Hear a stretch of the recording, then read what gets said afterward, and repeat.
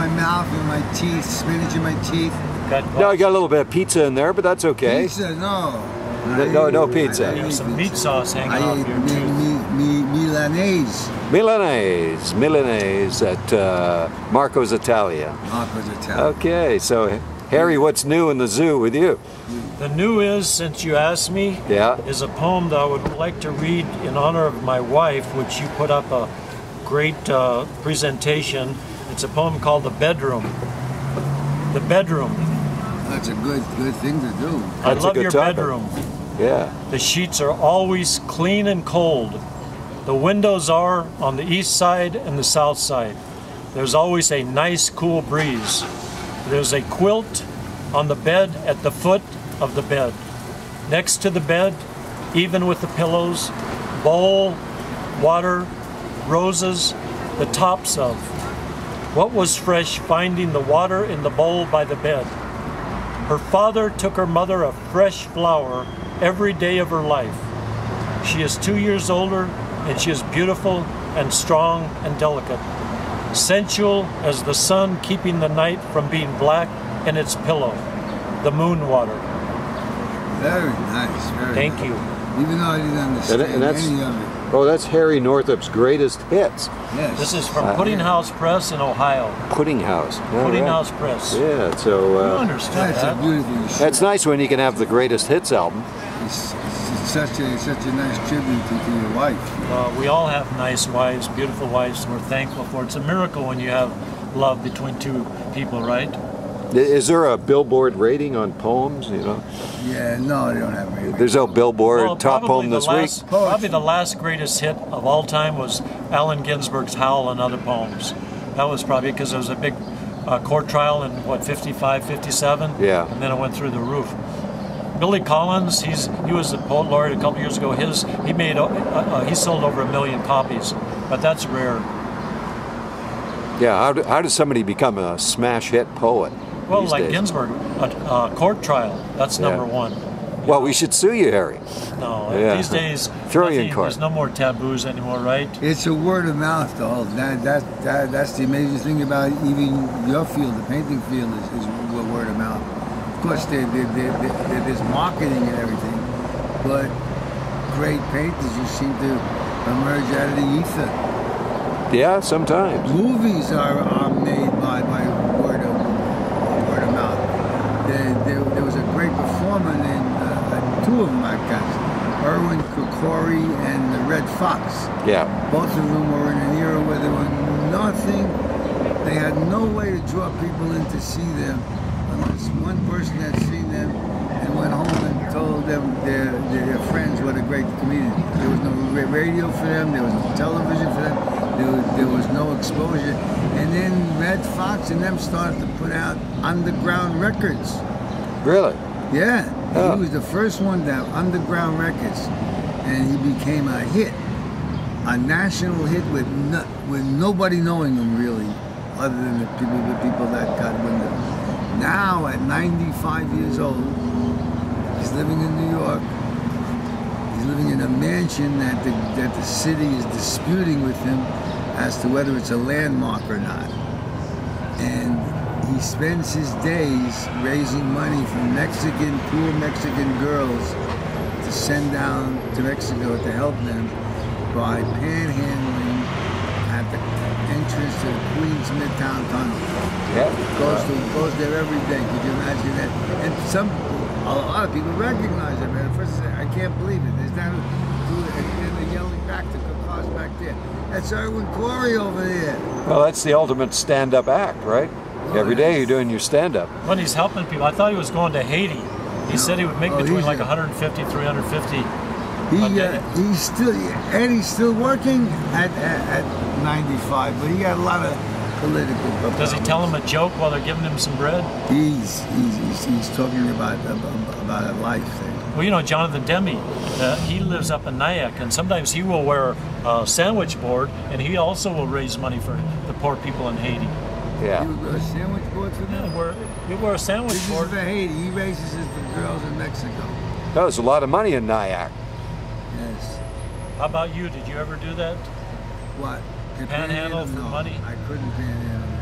But but I'll tell you, standing out in front of after a show, when I work on cruise ships, some of those, some of the lines require to stand out with your DVDs as they come out of the theater. I felt like a panhandler. Yeah. I felt horrible. Boy, I I sympathize. And anybody has to sit there and wait for People to come to you. to come yeah. to you. Yeah, that's it. they just walk by or they just stop from there and they do. That's a hard experience. So you were talking earlier about painting.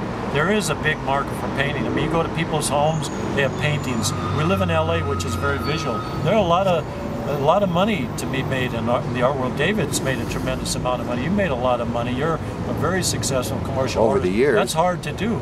It's very hard to do. There are some Yeah, people that get very great criticism. Uh, you know, just to make a living as an artist is a blessing, right? Yeah. You know, I mean, that's pretty rare.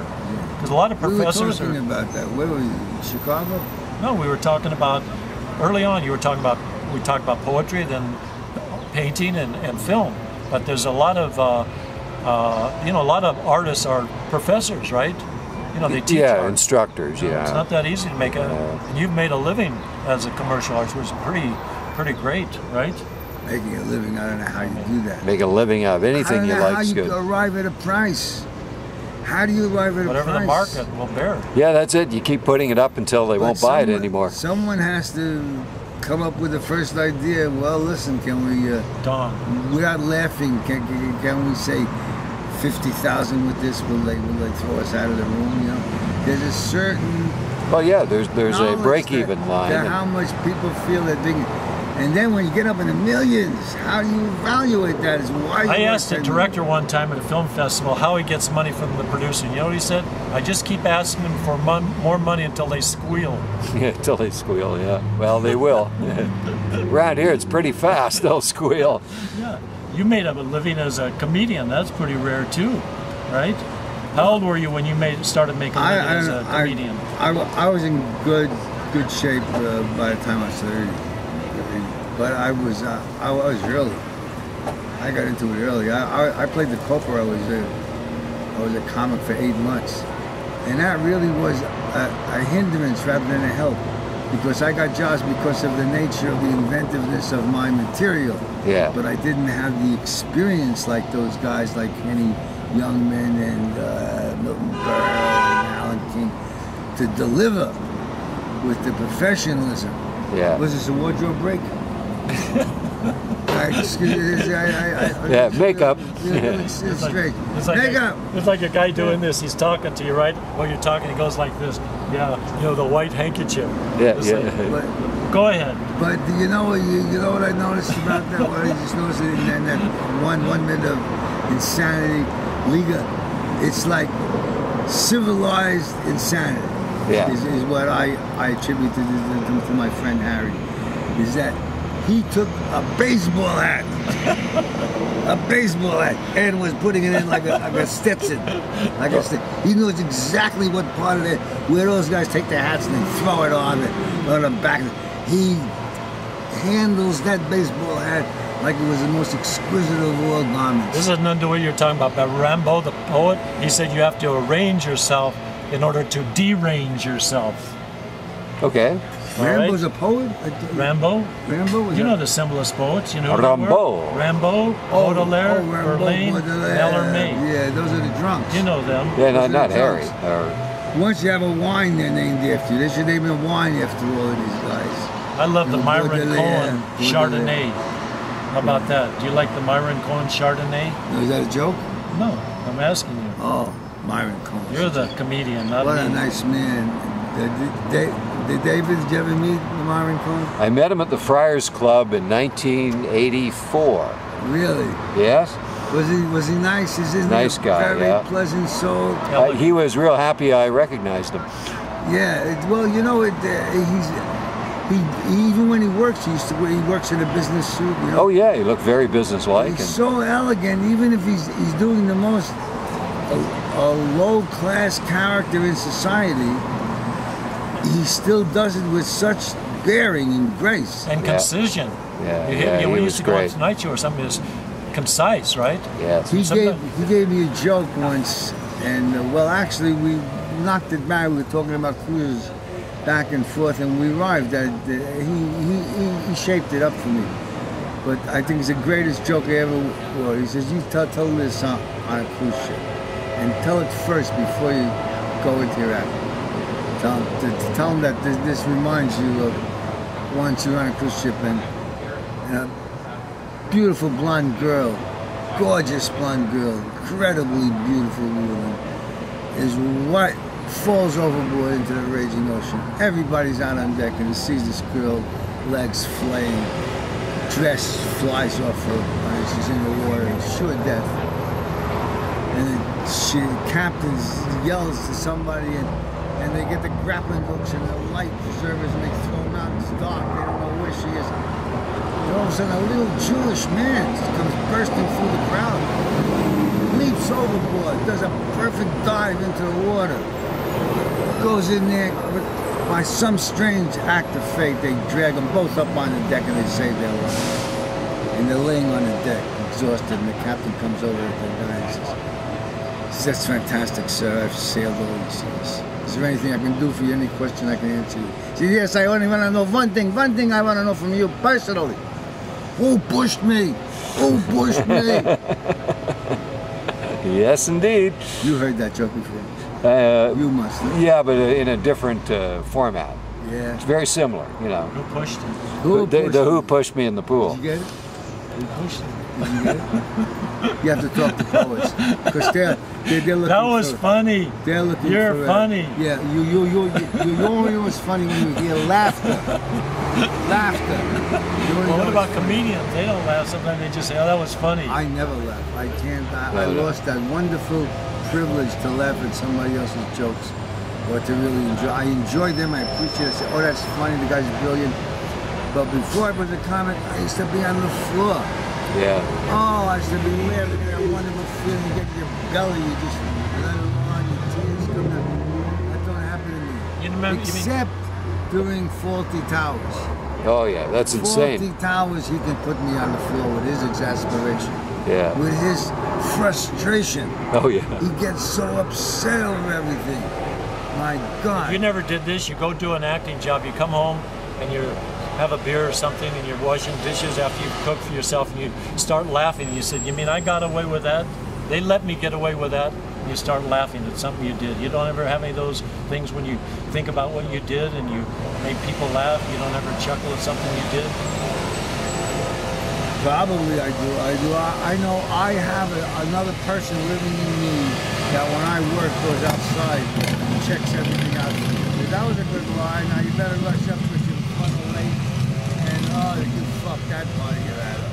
Yeah. There's a guy out there that gives me a constant blow, blow, blow by blow review. You Guy ever- making the noise. Do you have a, do you have an alter ego? No, I'm, over your shoulder I'm when you write totally your- when you write complete. your I don't. I'm not separated from myself. When you write your poem, you don't hear voices. I exist between the schizophrenia. I'm examining the difference between insanity and madness. What is the difference? I'm examining it. I haven't found out yet. I'm examining the difference between That's how to go crazy. Huh? That's how to go crazy. The minute you think you find out what it is, bam, you're nuts. Yeah. You're nuts. You know you're not nuts if you consider, right? You think you're right all the time, then there's something wrong. You have doubt sometimes, don't you? I sometimes forget. I doubt it all. Here- Here's, here's the funny people for me. I don't know about you. Lenny Bruce, Mort Sahl, Bill Maher, George Carlin, Don Sherman. Those Jackie are the Mason. funny people. Don't those forget- are the people who make me laugh. Do they make you laugh, those people? Some of them yeah Jack, Jackie Mason. No, oh, Jackie Mason. Yeah. Jackie Mason. He's endless. Henny Young. actually funny machine. Has no life. Oh, yeah. No No. life. Funny act in a funny comedy world. But he can't relate to a woman, can't No. relate to a friend. It's just humor. You have any children? No, I think yeah, has a child. He does, yeah. It's so funny. He had The, a, the mini Jackie. and looks just like him, and he denied his birth. He's Yeah. a Rebbe, right? Yeah. He denied his birth. Well, what's our word of the day, guys? Milanese? Milanese. How do you That was lunch. that? I don't know. I taste it. Uh, M I L A N E S E. he does. You, you, Milan He said he don't know how to spell. He know he's tasted it, though, right? So that's the place. Well, that, that, that's all you want to do is taste. that's is the place it. that became famous in Milan. Milano. Oh, Milanese. Yeah, Milanese. Yeah. Oh, I loved it. Okay, guys, we'll see you again. Okay. See I you, so. David. It's Sayonara. so nice you take time out from your master. Busy schedule. Okay. Ciao. Ciao.